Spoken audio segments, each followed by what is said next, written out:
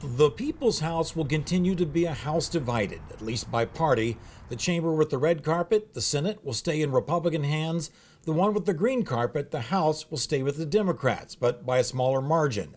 The DFL's had a 75 to 59 majority the past two years, but that appears to be going to a much tighter 69 to 65 split, depending on the final results of recounts. We're running on an outdated map so when you look at the popular vote in Minnesota, it doesn't match the legislative map yet.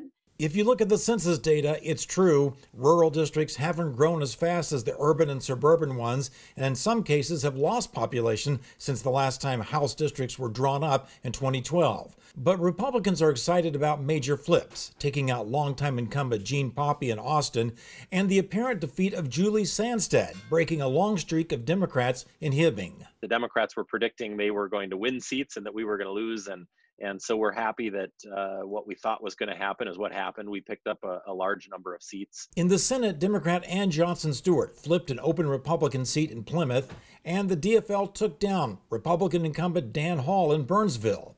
But Republicans ousted Democratic incumbents Matt Little in Lakeville and Dan Sparks in Austin. So it's back to a 35 to 32 GOP majority there. This will kind of moderate uh, what we what we see coming out of the Democrats in the legislature, and at least I hope it does. We have a pandemic and we have an economic crisis, and I think it will take all of our time and energy. John Croman, KARE 11 News.